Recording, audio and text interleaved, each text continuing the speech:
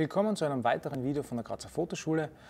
Wie ihr mitbekommen habt und wir auch schon in einem Video gezeigt haben, verwenden wir das Olympus-System sehr, sehr häufig, auch, aber nicht nur auf Reisen. Und ja, neben den Kameras, die ich schon einmal erwähnt habe, was wir da alles so mitnehmen, sind natürlich vor allem die Objektive ganz, ganz entscheidend. Und da habe ich ja eine Auswahl von Objektiven vor mir liegen. Das sind die Objektive, mit denen wir einfach viel fotografieren. Und da möchte ich einfach nur ganz, ganz kurz sagen, warum verwendet man das eine oder andere und wie gefällt es uns. Das wird jetzt kein kompletter Testbericht, überhaupt nicht, aber einfach ein paar Worte dazu, ja, was wir damit fotografieren. Generell ist natürlich gerade die Größe der Objektive ein riesiger Vorteil wegen dem kleinen Sensor. Natürlich gibt es auch da größere Objektive, aber vergleichbare ähm, mit größerem Sensor wären natürlich dann eben noch größer, noch schwerer und äh, die Objektive allein sind eigentlich auch ein Grund, warum ja, ich mich für das Olympus-System entschieden habe, weil die von der optischen Qualität wirklich allesamt wahnsinnig gut sind. Allesamt, naja, vielleicht weiß ich nicht, muss ich ehrlich sein. Ich kann nur sagen, die, die wir verwenden und mit denen sind wir wirklich extrem zufrieden. Welche setzen wir da vor allem ein und wofür? Ja, zum Reisen als wirklich Universalsummer mal habe ich dieses 12 bis 40 mm mit einer, maximalen Blendenöffnung von 2,8 immer mit dabei. Das ist so ein Universalobjektiv. Wie gesagt, der Crop-Sensor dieser Kamera ist immer 2. Äh, das heißt, verglichen auf Vollformat muss man immer alle Brennweiten mal 2 rechnen. Sprich, das würde entsprechen einem 24 bis 80 mm Objektiv. Ja, das ist so mein quasi immer drauf einfach wenn ich so durch die Gegend gehe, äh, ein Universalzoom, sind wir sehr zufrieden, muss ich gar nicht groß äh, darüber reden, aber das ist so das, das Standardobjektiv, was ich drauf habe. Das zweite, was ich auf Reisen immer mitnehme, ist das 40 bis 150 mm. Das ist schon relativ groß. Warum? Naja, es ist Lichtstärke 2.8. Es ist natürlich viel, viel kleiner immer noch als ein vergleichbares auf Vollformat, aber das hat trotzdem schon etwas an Gewicht und Größe. Naja, deswegen verwende ich auch die OMD EM1 Mark II so gern, weil das einfach noch eine sehr gute Kombi ist und in der Hand liegt. Für die EM10 oder EM5 ist es da von der Balance her, finde ich persönlich, nicht mehr ganz so ideal. Für die ist es ja wie gemacht. Das ist vielleicht das schärfste Tele, das ich bis jetzt in der Hand gehalten habe. Also Schärfe meine ich jetzt natürlich, wie die Bilder rauskommen, bis in die Randbereiche, auch bei Offenblende extrem scharf und wirklich gut vor allem, da gibt es einen kleinen Telekonverter dazu, 1,4-fach, der ist ganz, ganz dünn. Und warum äh, macht das Ganze so spannend? Naja, wenn ich dann denke, 150 mm und das noch mal 2 entspricht schon einem 300 mm und das noch mal 1,4, also fast 1,5, da haben wir knapp 450 mm Brennweite. Die Größe verändert sich gar nicht mehr. Das heißt 450 mm Brennweite auf Vollformat äquivalent, das ist schon wirklich äh, sehr, sehr handlich dafür. Das verwende ich wirklich oft, äh, vor allem für Tierfotografie, aber auch so beim, beim Reisen, weil ich auch Landschaftsfotografie sehr oft gern mit diesem Tele-Look habe, diese komprimierende Wirkung. Äh, ja, eines der häufigsten Objektive, die ich äh, generell verwende. Und als drittes im Bunde von dieser 2.8er Linie das 7 bis 14 mm. Auch das nicht mehr ganz so leicht, auch das schon, ähm, ja, weil es eben auch sehr, sehr robust ist, nicht mehr ganz auch also billig. Ja ein extrem gutes Weitwinkel, 7 bis 14 mm. Das bedeutet, es wäre also 14 bis 28 mm an jetzt Vollformat-Äquivalent. Ich muss wirklich sagen, von der Verzeichnung her, ich hätte es nicht gedacht. Ich bin immer sehr kritisch gewesen bei Objektiven für kleinere Sensoren, wenn dann so extreme Weitwinkel äh, passieren sollen. Das Objektiv ist für mich äh, wahrscheinlich das beste Weitwinkelobjektiv, das ich kenne. Es hat für mich nur einen Nachteil, das haben aber alle, äh, diese extremen Weitwinkelobjektive. Naja, mit Filtern wird schwer. Ihr seht, das ist so eine äh, wölbende Außenlinse. Das heißt, da braucht man schon deutlich größere äh, Filtersysteme als jetzt die normalen Schraubfilter für die anderen äh, Sachen.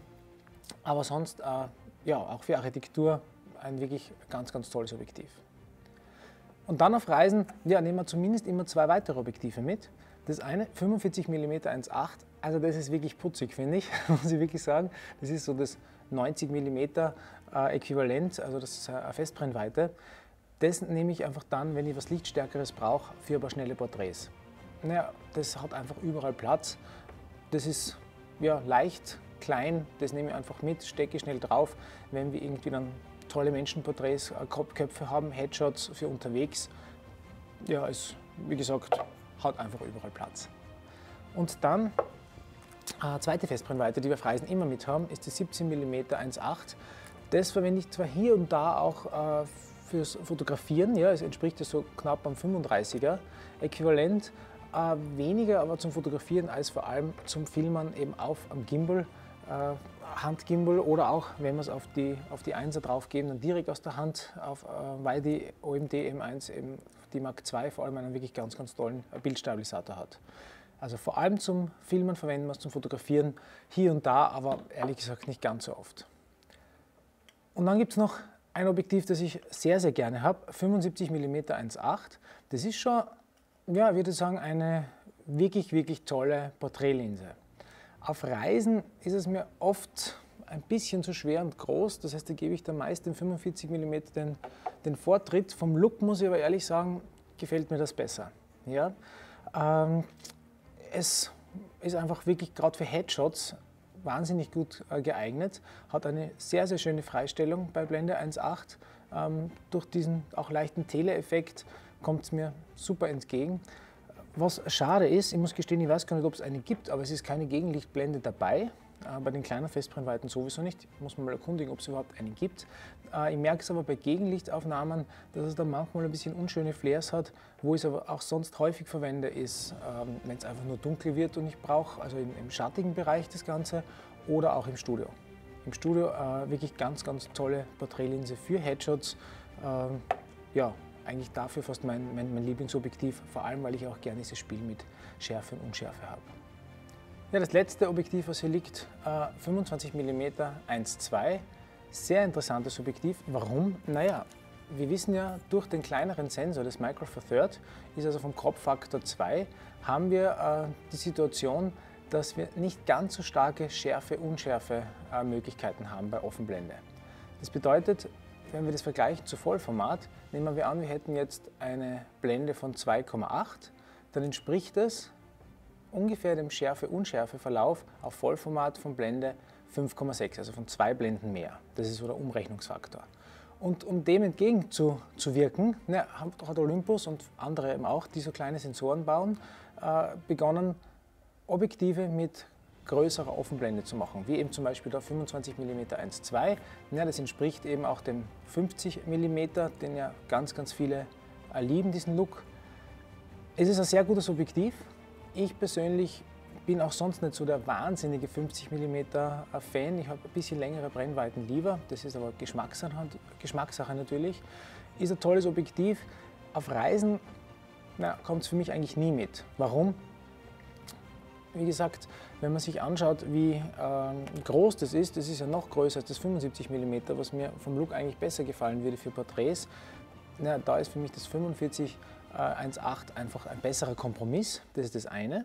Und äh, auch sonst, wenn man eben so schaut, ich meine, das sind jetzt 17 mm, das sind 45 mm, irgendwo dazwischen ist eben das 25 mm. Der Unterschied zu Blende 1.2, der ist schon wirklich gravierend, was es eben mit Gewicht und Größe betrifft. Und deswegen äh, tolle Linse, ich sage trotzdem ganz ehrlich, ist nicht so ganz mein Favorit. Wirklich gespannt bin ich auf das ja, bereits angekündigte und es gibt es ja, glaube ich, auch schon wirklich, äh, ich habe es noch nie in Händen gehalten, 45 mm Blende 1.2. Das wird für mich ein spannendes, spannendes äh, Objektiv werden. Ich hoffe, ich bekomme es bald einmal zum Testen. Meine Erfahrungen werde ich dann natürlich äh, auch gern weitergeben. Ich hoffe, das hat geholfen. Einfach mal einen Überblick über die Objektive, die wir verwenden. Da gibt es natürlich noch viel, viel mehr. Äh, zu denen kann ich aber nichts sagen. Das sind die, die wir wirklich äh, ja, fast tagtäglich im Einsatz haben, mit denen wir super zufrieden sind. Vorwiegend auf Reisen, aber wie auch das, wie gesagt, nicht nur, sondern auch hier für die Studio- und Porträtfotografie Fotografie im Einsatz. Ich hoffe, es hat euch helfen können. Äh, die Objektivwahl ist ganz, ganz entscheidend. Nicht nur die Brennweite, nicht nur die Blende, sondern natürlich auch sonst die Qualität von dem Ganzen. Und da sind wir wirklich äh, mit diesem System extrem gut bedient und, und richtig happy.